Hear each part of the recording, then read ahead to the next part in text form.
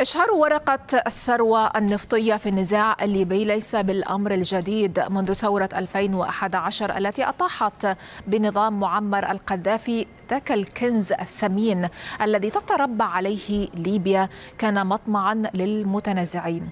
كلما تجدد النزاع اغتنم فصيل الفرصة لمحاولة الظفر به. ففي السابق أوقفت فصائل مختلفة إنتاج النفط للضغط لتحقيق مأرب إما مآرب إما سياسية أو للمطالبة بحصة أكبر من عائدات الدولة التي دخلت بعد الثورة في صراعات على السلطة.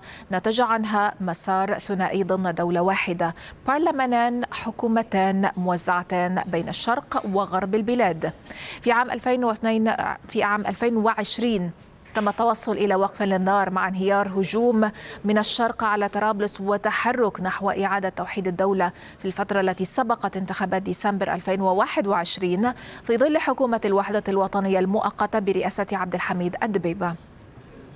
لكن مساعي التوافق انهارت أيضا وعاد الشقاق والتناحر.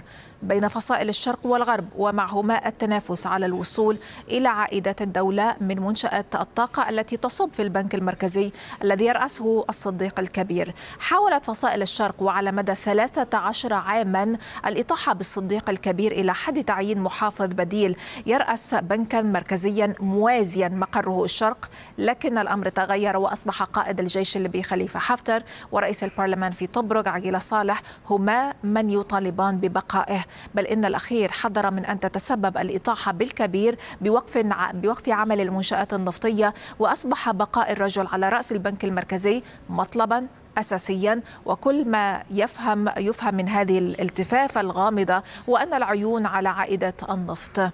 انتهى آخر إغلاق كبير في 2022 بأن نصب رئيس الوزراء الدبيبة في طرابلس فرحات بن قدارة المقرب من حفتر رئيسا للمؤسسة الوطنية للنفط. خطوة هدأت الأجواء نسبيا قبل نشوب خلاف بين الدبيبة والكبير العام الماضي عندما بدأ الكبير بتشديد القيود على ميزانية حكومة الوحدة الوطنية. قيود تراهن عليها فصائل الشرق كون البنك المركزي هو جهة الإيداع القانونية الوحيدة لعائدات النفط الليبية وهو الذي يدفع رواتب موظفي الدولة وأي نقص. سيشكل ضغطا على حكومة طرابلس تستفيد منه قوى الشرق.